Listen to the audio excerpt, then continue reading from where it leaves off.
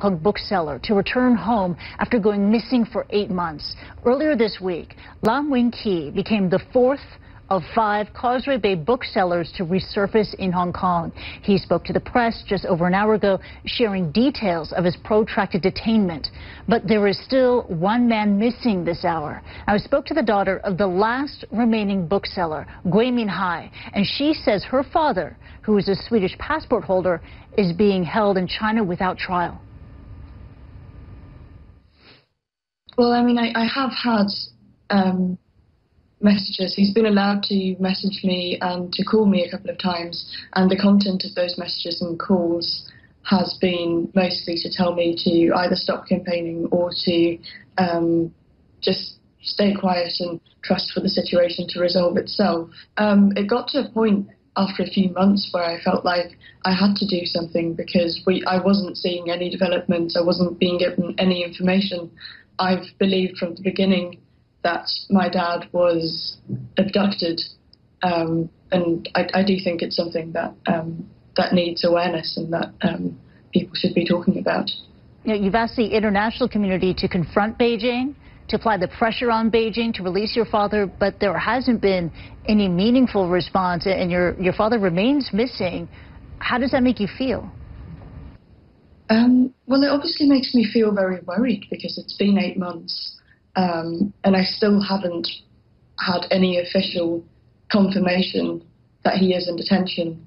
Um, so it's just something that I've had to guess and uh, that I've been told when I've been uh, when I've been speaking to Swedish consular officials that have uh, that have been allowed to visit him once in February. You know, before he disappeared, he, he talked to you about his work, but did he ever tell you that he ever felt it was dangerous or risky? No, I don't think. I've been thinking a lot about this, and I don't think he would have because um, I am his daughter and he probably didn't want to worry me. But um, I have been a bit worried before um, because I knew um, I knew a little bit about the risky nature of uh, what he was publishing, and uh, so I've asked him about it um, on at least one occasion, and his response was mostly that um, as long as as long as he stayed in Hong Kong and as long as he had a Swedish citizenship, he would be fine. Um, which is, of course, what everybody um, thought as well uh, up until uh, up until the incident. And, and, are you worried about your personal safety? Or are you scared about traveling to China or, or even Hong Kong? Um, well, my life has obviously changed since my father was abducted. I mean, I am much more, I, I am much more careful about what personal information I give out, and I have been advised not to travel to Asia at all, which has obviously been very difficult to come to terms with, as most of my family lives there.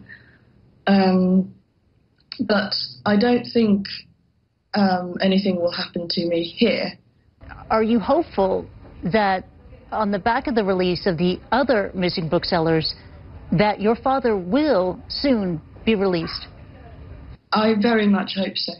Um, all of my efforts are um, directed towards that. Um, I really hope that um, that this recent news about Lam Wing being released um, means that we will have some news about my father soon as well. But I do, I do think it's worrying that um, that the booksellers that have previously been released have been made to go back to the mainland. And that was Angela Gui speaking from the UK. She is the daughter of the last remaining Hong Kong bookseller yet to be released from detention in China. As Angela just mentioned, even after Beijing let the four other book vendors go, some made a worrying and swift return to the mainland. Back in March, there were reports that two of the Causeway booksellers who had just re-entered Hong Kong headed back to China that same day. And Hong Kong public broadcaster RTHK reports that Lam, the latest bookseller to be released, says he was told to return to the mainland this Friday. He claims he was told to bring evidence about who the bookstore had been sending banned books to. Stakeouts are not just a waiting game as they're portrayed on TV and in the movies. Spies have an arsenal of gadgets to keep track of subjects, many a lot more sophisticated than a pair of binoculars. For example, covert listening devices can capture audio around the target. Laser detectors pointed at a parked car can signal when a target makes a move. And once on the move, the location of a mobile phone and the person carrying it can be easily determined through geolocation. But you don't need high tech tools to keep tabs on someone. In 1934, the FBI did it the old fashioned way when they took down John Dillinger. 20 agents coordinated in one of the most famous stakeouts of all time to nab the infamous bank robber at a Chicago movie theater. When Dillinger exited, he reached for his gun, but the agents were the first ones to fire.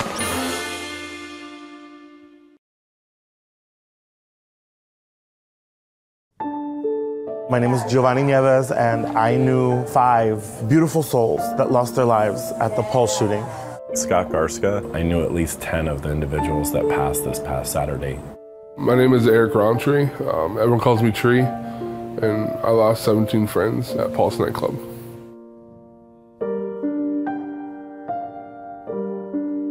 I woke up Sunday morning and just opened my laptop, and on the very first page it said shooting at Pulse nightclub, Orlando, 20 dead.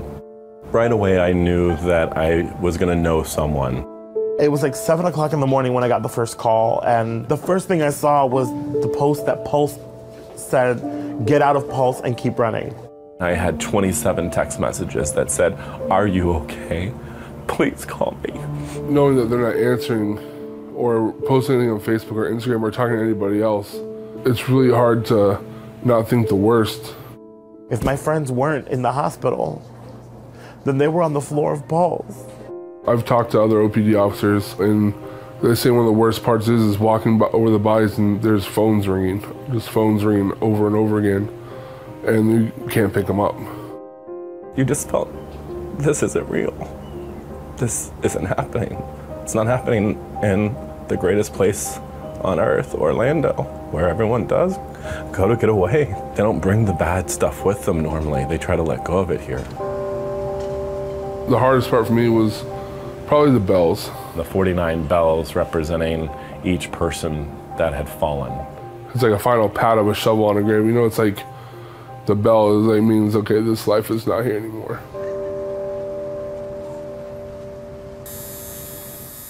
I got a tattoo. It's um, it's a cross, faith, um, the pulse, like the heartbeat, and um, the initials of the people that I was closest with.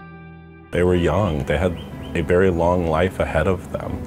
And my heart is the heaviest it's ever been because for some reason it just keeps happening in places where we, we somewhat feel the safest.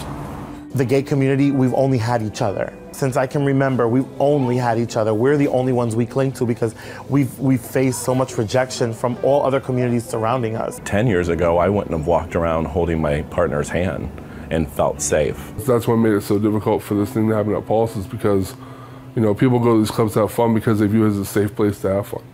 You know, being my size and the way I look, you know, it's not always easy to be accepted by people. I didn't have to try to be accepted by, you know, the gay community. Like they were just there with open arms. The amount of compassion people have for each other is just unbelievable. To see that everybody else in the community has come together and stand stood strong and say, we are, we are with you. It means a lot. I think at the end, it's like they're gonna come back bigger and stronger than they ever were before. Bad as it sounds, like it brought a lot of people together. We'll make good come from this. We will make our voices heard even louder now. If you didn't hear us before, you're gonna hear us now. If you didn't think the rainbow was bright on us before, the rainbow will shine brighter now.